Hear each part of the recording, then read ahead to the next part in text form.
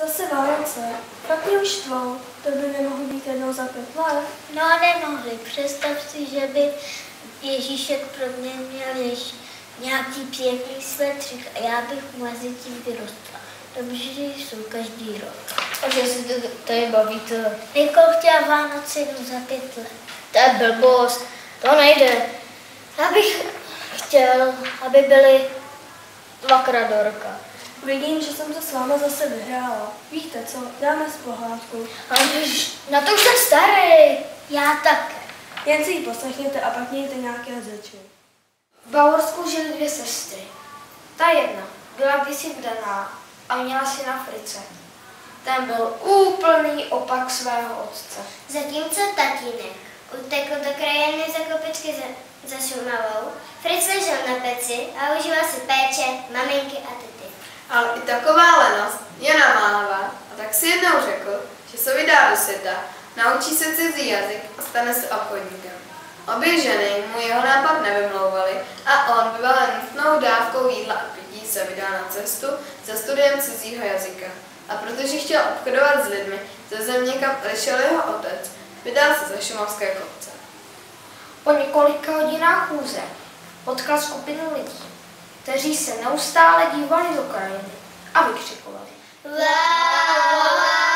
wow. Aha, tak už na první slovíčko, řekl si Fritz. A během další cesty si neustále opakoval wow. Na okraji vesnice ukazoval tatínek synkovi, jak má motrovou sekačkou pokosit trávník. A ten mu vždy odpověděl. OK, OK, OK. Fritz si řekl, že ta cizí řeč není vůbec těžká. Už umí dvě slůvka. Wow a OK. A protože je opakování matkou moudrosti, jak říká staré přísloví, neustále, i když tiše, si říkal. OK. Wow, wow, wow, OK. Netrvalo to nějak dlouho a uviděl dvě dívky. Ta jedna se chlubila druhé novým tričkem. Super, super, chválila jí kamarádka nákup. A mladík by přímo radostí poskočil, kdyby nebyl líný nad znalostí dalšího českého slova super. Jistě jste pochopili, že ona zem za Šumavou jsou Čechy. Nohy ho již bolely, ale toho naučit se řeč lidí ze země, kam odešel jeho tatínek a s níž by chtěl v budoucnosti obchodovat, ho hnala dál. Už znám tolik slov, že by se snad i domluvil. Rozmluval Fritz. Když si opakoval wow, wow, OK, super, OK, super. Pro jistotu pokračoval v cestě, protože chtěl být úspěšným obchodníkem. A podmínkou toho, aby ho nikdo neošádil, je i výborná znalost cizí řeči. Na kraji silnice stálo auto. U něho držela jakási žena v ruce mobilní telefon a hlasitě do něj naříkala. Kredit, kredit, kredit! Aha, povídá si v duchu Fritz. Oni ti Češi mají docela primitivní řeč. A ke slovu, která již uměl. Wow, OK, super. Přidal ještě kredit. Původně chtěl pokračovat v cestě. A když si ta slůvka neustále opakoval, zjistil, že zná již dobře a nebude problém se při obchodních jednání domluvit. Na místě se otočil a vydal se zpět do vesničky na druhé straně Šumavy. Po cestě si neustále opakoval super, wow, OK, kredit a než se nadal, byl doma u macky a tety. Tak co, Fritz, naučil se cizí řeč? Povídá teta Gertruda. Kredit super, suverénně odvětil chlapec a šel si odpočil papec. Ty, Segra, mně se zdá, že jsi ten glupán. Já se ho ptala, zda se naučil česky a on mi odpověděl kredit super.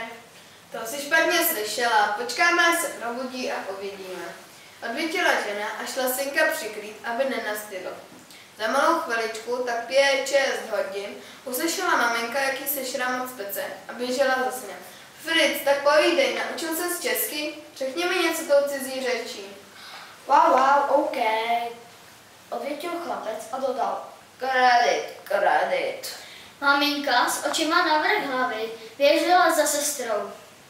Tak si měla pravdu, Fritz se památl. Co budeme dělat? Co budeme dělat? Lamentovaly obě ženy. Pak je napadlo zeptat se moudrého ovčáka, který nedaleko jejich stavení pásl své stádo. Rada, které se, jí dost, které se jim dostalo, byla sice trochu drastická, ale když pomůže, tak proč ne? Řekli si schodně obě ženy. Po snídaní, když Fritz od neustálého opakování českých slovíček znaven únavou usnul, natočila každá čber studené vody a naraz si vylili na hlavu budoucího obchodníka. Herkot, krucina, co je?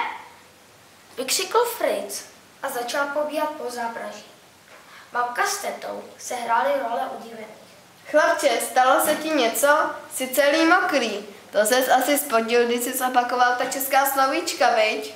To je švajneraj, maminko! Já zapomněl! Naříkal Fritz a přestože už to byl velký chlap, tak se rozplakal nad zbytečnou námahou. No a od té doby mu každý rozuměl, protože mluvil tak, jak mu zobák narostl. A to je konec pohádky.